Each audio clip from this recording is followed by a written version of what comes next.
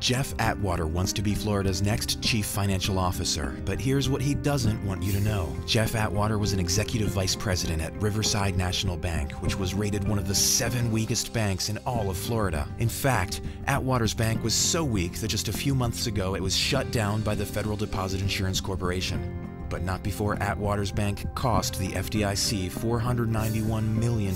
So ask yourself can Florida really afford Jeff Atwater as our next CFO?